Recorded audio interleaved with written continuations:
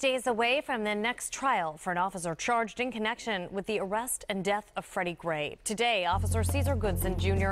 chose to have his fate decided by a judge as opposed to a jury.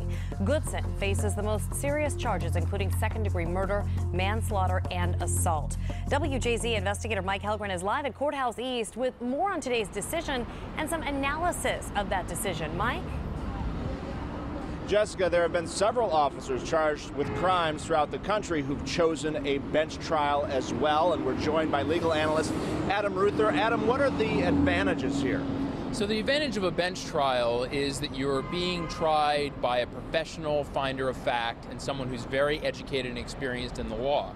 So, in cases like this, where the defenses are very legalistic, they're about does the law apply to this set of facts? Sometimes it's advantageous to take a bench trial and put your fate in the hands of someone who's very well versed in exactly how the law works, as opposed to a jury that may be more swayed by emotions. And Officer William Porter is expected to testify here. How crucial will his testimony be?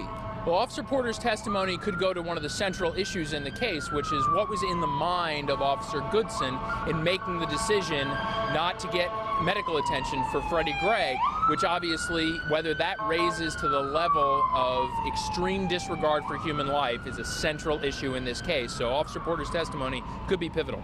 Thank you very much, Adam Ruther. And certainly, because this is a bench trial, it will move much faster. It all starts on Thursday. Back to you, Jessica. All right, Mike, thank you. And please stay with WJZ for complete coverage of Officer Goodson's trial. We'll bring you the very latest developments from the courtroom as the trial gets underway this week.